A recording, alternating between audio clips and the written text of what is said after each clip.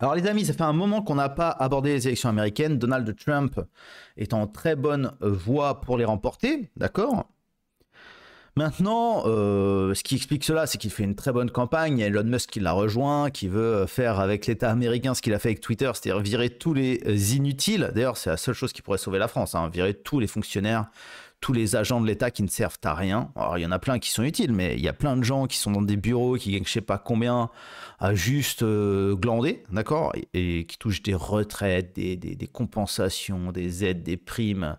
Enfin voilà, ils se gavent sur l'État depuis trop longtemps. Il faudrait virer tous ces gens qui ne servent à rien, ok? Mais ça va pas être fait euh, de sitôt parce que personne ne propose de le faire, même pas le RN. Donc euh, on est un peu foutu parce qu'on est dans un pays communiste où le rêve, en gros, euh, le rêve commun, c'est que tout le monde soit payé par l'État en France. Qu'on soit tous des fonctionnaires. C'est déjà un peu le cas parce qu'on touche tous des aides. D'accord? On contribue. Enfin, seuls, les actifs qui produisent de la richesse contribuent, mais tout le monde touche. Voilà. Même nous, hein, moi, dans ma famille, euh, ma femme, elle touche euh, les allocs parce qu'on a trois enfants. Voilà, on a des allocs. Qu'est-ce que vous voulez que je vous dise? On a, genre, je sais pas, euh, je sais pas exactement, parce que c'est elle qui les touche, mais je crois que c'est entre 500 et 1000 balles, un truc comme ça, parce qu'on a trois gosses. On a fait des gosses, donc on mérite de l'argent, moi je sais pas. Écoutez, j'essaie pas de comprendre. En même temps, je donne plus de l'autre côté, donc ça va, hein, je récupère mon argent. Mais voilà. Après, c'est bien, je trouve que c'est bien de, donner de l'argent hein, aux gens qui font des enfants. Parasite qui est improductif. Euh, Assister, non, ça je valide moins déjà. Ok? Euh, Enfin, prime à la loose. C'est ça la France, c'est prime à la loose. Oh, t'as vraiment échoué, hein. t'es vraiment une merde, t'as vraiment même pas essayé. Hein. Bravo, hein. on va te donner 2000 euros par mois parce que t'es vraiment un cassos de l'extrême. Voilà, c'est la France. Donc je trouve ça, ouais, je trouve ça plus euh, raisonnable et justifié de donner de l'argent aux gens euh, qui font des enfants parce que c'est important de faire des enfants et c'est pas de tout repos. je préfère vous le dire. Alors, Qu'est-ce qui se passe aux États-Unis? Kamala Harris est absolument nulle. Hein. Pour résumer, elle est gênante, elle est, elle est nulle, elle ment. Ils ont fait une espèce de.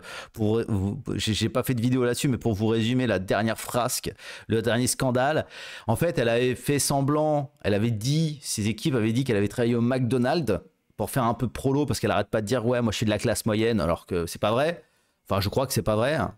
Elle insiste beaucoup là-dessus et du coup, elle aurait travaillé au McDonald's. Et en fait, ça a été debunk, tout le monde a... McDo a dit non, c'est pas vrai, elle a jamais travaillé chez nous. Surtout qu'en plus, McDo a une certaine sympathie pour Donald Trump, parce que Donald Trump a toujours dit qu'il mangeait que McDonald's. Je crois que c'est ça. Hein. Euh, il avait tellement peur de se faire empoisonner, je crois, à la Maison Blanche, qu'il se faisait livrer du McDo tous les jours. Ok? Dans des McDo différents, pour pas que... bref. Et du coup, euh, Donald Trump, pour l'humilier, est parti travailler au McDo. Il a fait des frites et des hamburgers, ok et du coup, ça a encore été un, ace pour sa campagne. Mais de l'autre côté, euh, l'équipe de Kamala Harris a produit une photo euh, d'elle habillée en uniforme McDo dans un McDo pour prouver qu'elle avait vraiment travaillé. Et les euh, gens d'internet ont retrouvé la photo originale. En fait, c'est un montage. Et ils ont pris en fait la photo d'une meuf qui était décédée sur une rubrique funéraire, une ancienne employée de McDonald's décédée pour faire un montage de Kamala Harris, voilà, c'est sorti partout. Enfin voilà, c'est vraiment des gros nuls. Ils sont nuls, ils sont avec aujourd'hui avec l'IA, tu pouvais très bien produire une image originale. Ils y ont même pas pensé. Ils sont encore sur les vieilles méthodes de prendre une photo existante et de mettre la tête de Kamala Harris dessus. C'est vraiment le montage est très bien fait, mais voilà, il suffisait de retrouver la photo originale, c'était finito quoi. Ils sont nuls à chier. En plus, prendre quelqu'un de mort, de décédé, c'est terrible. Et du coup, euh, le dernier événement de cette campagne, quelque chose qui fait beaucoup de bruit, c'est que euh, Donald Trump a fait euh, le, le. Comment on appelle ça? Le podcast a donné une interview chez Joe Rogan, qui est un des plus grands podcasteurs américains. C'est un des mecs qui comment dire c'est un des mecs qui euh, commente l'UFC. Hein, vous connaissez très bien Joe Rogan, on va voir ça ensemble. Ils ont fait 34 euh, millions de vues en deux jours. 34 millions de vues en deux jours. Et du coup, YouTube a complètement euh, déréférencé la vidéo. Parce que Google est du côté de Kamala Harris, bien sûr, avec Apple et Microsoft. Et du coup, ils ont déréférencé le truc. Donc, YouTube est ultra permissif aujourd'hui. Mais euh, sur la politique américaine, faut peut-être pas déconner. Ok, allez, on va regarder ça. Bientôt la plus 20 mandat plus haut que la vie vie est belle. Je suis en terrasse, t'es dans la rue, vaccin universel. Alors, on voit ici le, le podcast, ok? Alors, vous connaissez ce mec, vous avez, si vous êtes de droite, vous avez forcément vu des extraits passer sur Twitter. Si vous vous intéressez un peu à ce qui se passe à, à l'international et aux États-Unis, dans le monde anglo-saxon, dans, le monde anglo- anglo-saxon, pardon, vous avez forcément euh, déjà vu passer ce mec. Il est extrêmement connu, ok? Et du coup, on a euh, 37 millions de vues euh, en 3 jours. Hier, c'était 34 millions de vues, mais voilà, ça s'est arrêté net. La progression s'est arrêtée net, tout simplement parce qu'il a été réfé- déréférencé. Alors, je vais voir si c'est toujours le cas. Je vais mettre Rogan Trump, ok? Est-ce qu'il a été re-référencé Non. Il n'y a que des extraits, mais il n'y a pas le podcast. Il y a énormément d'extraits disponibles, de, de- de petites capsules qui ont été commentées ou qui ont été extraites de cette, euh, de cette entrevue qui dure quand même 3 heures. Ça, bon. D'ailleurs, Trump a été sans fiche pendant 3 heures. Et a priori, ce qui est vraiment gênant, c'est que Trump, là, il est très. euh, il n'est pas dans la provoque comme d'habitude, il est très humain. Et c'est ça qui gêne énormément euh, les médias mainstream, enfin bref, les, globalistes. hein. Euh, c'est que son humanité ressort beaucoup et c'est très très gênant parce que généralement ils aiment bien jouer sur le fait que Donald Trump soit caricatural et que ce soit un, peu un trublion. Alors que là, il paraît très humain, très accessible et très mesuré. Donc, euh, il parle de choses un peu émouvantes comme euh, la chambre de Lincoln à la Maison Blanche. Il parle de son fils disparu, pas de Trump, mais de Lincoln, avec presque des larmes aux yeux. Enfin voilà, on voit vraiment l'homme, quoi. Et euh, ça, euh, les, globalistes n'arrivent pas à le- à l'encaisser. Alors, on voit ici euh, Nico Rex qui dit 30 plus de 34 millions de vues et on ne peut pas le trouver, juste des clips et des réactions. Et Elon Musk, qui est devenu le bras droit de Donald Trump pendant ces élections, dit wow, parce que c'est vrai que c'est une interférence dans, dans l'élection. Hein, ok? Et donc là, il montre qu'on ne peut pas trouver en recherche YouTube le, le, le, le- podcast original, quoi. Alors les, euh, les gens de gauche disent que non, elle n'a pas été censurée parce que des gens crient à la censure, elle a juste été déréférencée. Et la, la, la- façon la plus claire euh, de le constater, c'est que euh, la vidéo a beau avoir fait 10 millions de vues en 11 heures après sa publication, eh bien, elle n'était pas dans les tendances. Elle n'était pas dans les tendances. Donc voilà, effectivement, YouTube souhaite ne pas la rendre visible, mais là, carrément, je vous dis, en la cherchant spécifiquement, c'est-à-dire tu mets Trump Rogan en recherche, normalement, tu devrais tomber dessus tout de suite, vu les vues qu'elle fait, parce que c'est délirant, hein. je crois que ça fait plus de vues que MrBeast. Ouais, MrBeast fait 81 millions de vues en deux semaines, donc si, euh, voilà, il y a 15 jours, peut-être un peu plus, parce que deux semaines, ça peut être deux semaines et six jours, on va dire, allez, euh, on va dire 15 jours, ça fait environ 5 millions de vues par jour, donc ouais, c'est plus que MrBeast.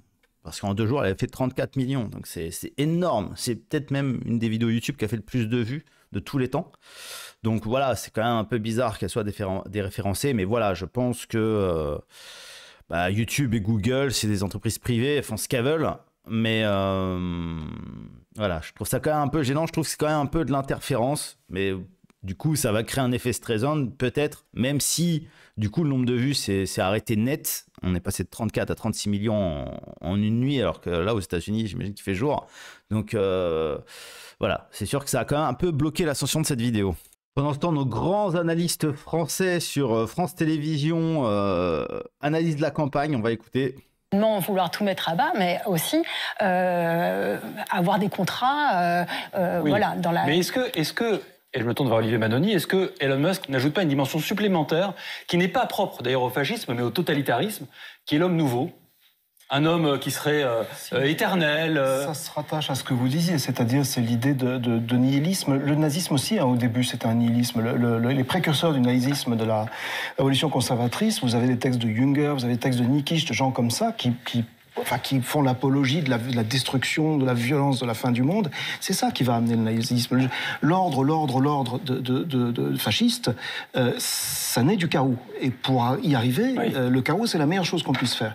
Donc, c'est- complètement dingue, hein, franchement.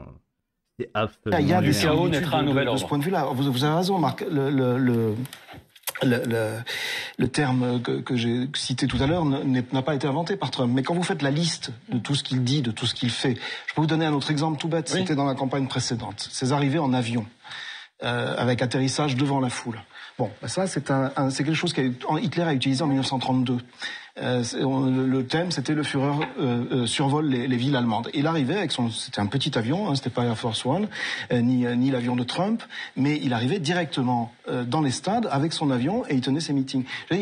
Quand on utilise une symbolique, un vocabulaire, une gestuelle et une volonté de force et de, violence très claire à ce point-là, on peut pas faire abstraction de cette histoire. Non, vous Juste pour répondre à cette histoire d'avion, ça c'est un meeting à la descente de l'avion de Kamala Harris en fait. Ils font tout ça les Américains, ils ont pas le temps. C'est un très grand pays, ils ont pas le temps. non mais, c'est euh, c'est euh, c'est complètement dingue. Ces gens sont fous furieux, fous furieux. On va écouter cette euh, alors elle est neuroscientifique comme Idriss Aberkan. OK, on va écouter. Non. Alors déjà, moi, je ne vois rien de différent par rapport aux dynamiques électorales des États-Unis avant même euh, cette, euh, ces, ces, échanges d'amabilité entre Harris et, et, Trump, parce que depuis, depuis déjà Obama, il y avait cette attribution de la non-rationalité qu'il donnait, par exemple, aux électeurs, euh, qu'il d'ailleurs, il a fait des erreurs en quelque sorte en disant qu'ils n'ont que des armes et la Bible pour décider. Donc il renvoyait en quelque sorte aussi cette émotivité, la non-rationalité à son électorat. Clinton, euh, elle a fait aussi. C'est vrai que c'était très rationnel de brûler le pays en hommage à un multirécidiviste euh, qui, a été tué involontairement pendant son arrestation, parce qu'il était encore en train de commettre un délit ou un crime, je ne sais pas ce que c'est, euh, trafiquer de la fausse monnaie aux États-Unis, c'est un crime ou un délit. Mais voilà, euh, George Floyd qui était sous fentanyl, criminel multirécidiviste, c'est vrai que brûler et, diviser les États-Unis à son propos, c'est vrai que c'était très rationnel. Black Lives Matter, c'est extrêmement rationnel. Dire que les Noirs sont massacrés par la police aux États-Unis, alors qu'en vérité, les Afro-Américains sont avant tout massacrés par d'autres Afro-Américains, euh, de très très très très loin. Et d'ailleurs, un, un Américain blanc a plus de chances de se faire tirer dessus par la police qu'un Afro-Américain. Enfin bref, c'est absolument pas rationnel cette histoire de Black Lives Matter. Pourtant, les gauchistes ont appuyé des deux pieds sur la pédale d'accélération à propos de ce thème et de cet, cet agenda les mêmes erreurs, sauf que maintenant, Kamala Harris concentre un peu cette critique de, oui. de manque d'intellect en la personne de Donald Trump, mais il y avait toujours cette, cette, cette euh, accusation de l'autre camp de ne pas avoir de raison, et là aussi ça rappelle ce que vous avez dit, c'est que la raison, elle n'est pas universelle, et pour chaque camp, euh, l'autre, il est en train de sacrifier les fondations morales de chaque camp. Donc je pense qu'il il représente d'une manière très claire quasi caricaturale ce qui caractérise la, la société américaine. Oui, euh, ils représentent chacun leur camp qui sont opposés, relativement clivants pour pouvoir engranger un certain type d'électorat autour de soi.